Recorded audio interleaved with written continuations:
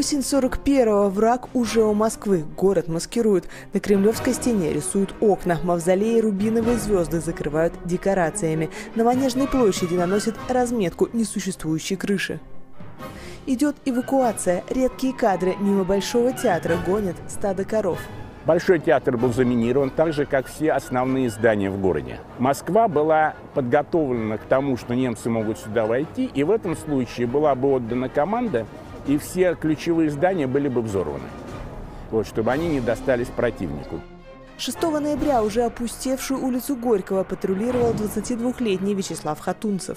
Вечером они поздно вернулись после патрулирования в казармы сюда. Им сказали, так, ребята, быстренько подшиваем воротнички, завтра будет парад, спать. Территориально они располагались на территории нынешнего ГУМа.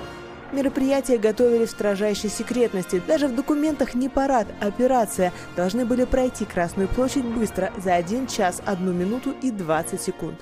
7 ноября, подъем в 4 утра. Пришел приказ маскировку снять, открыть мавзолей и зажечь звезды. По Красной площади прошли 160 танков, 230 автомобилей и 28 тысяч человек парад был самым пиком всего. Была какая-то безнадежность, была усталость, немцы лезут, мы сопротивляемся, большие потери, отступление, эвакуация. И вдруг такое светлое пятно. В это время вдруг Сталин в Москве.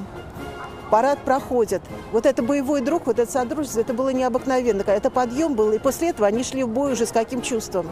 Мы победим. Чтобы не был, мы победим. Честь легендарного парада 41 года на Красной площади 41 единица уникальной боевой техники. Здесь есть реальные пробоины 41 года и несколько машин на Красной площади также э, воевавшие. Это наши старики. Впервые у стен Кремля МиГ-3 в зимней раскраске. Именно такие защищали небо Москвы в 41-м. Стрелковое оружие из исторических клубов, в том числе знаменитая Мосинка. Столько, сколько повидала эта винтовка, наверное, еще ни одно оружие в мире столько не видела. Сердце столицы перенеслось во времени. Прямо перед ГУМом кусочек бульварного кольца начала сороковых. Четыре дня на сцене театра революции, иммерсивные спектакли пять раз в день. В кинотеатре художественные хиты фронтовых лет. Еще новинка «Самый большой экран» под открытым небом в стране. Длиной 150 метров, половина Красной площади.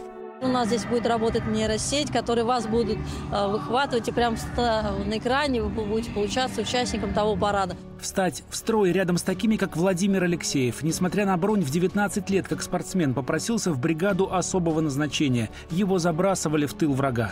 В конце октября их стали строевым шагом водить по Москве. Считали, что таким образом в Москве паника, и они как бы вот стабилизируют обстановку в Москве. О параде они узнали 4 часа утра 7 ноября. Их подняли по тревоге. Муж мой шел правофланговым, потому что он был высокого роста. И очень переживал, что все смотрят на мавзолей, а он прямо. Они как бы дали клятву, идя мимо мавзолея, что они э, прогонят врага с нашей земли. Враг был в 70 километрах от столицы.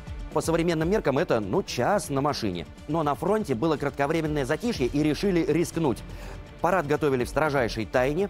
Э, его даже начало перенесли на два часа ранее. Операторы опоздали, поэтому так мало хроники. Речь Иосифа Виссарионовича Сталина пришлось переснимать уже в следующий день. Построили макет э, трибуны в помещении. Поэтому вот заметно, Сталин произносит речь, у него пар изо рта не идет. Дух Великой войны вдохновляет вас мужественный образ наших великих предков.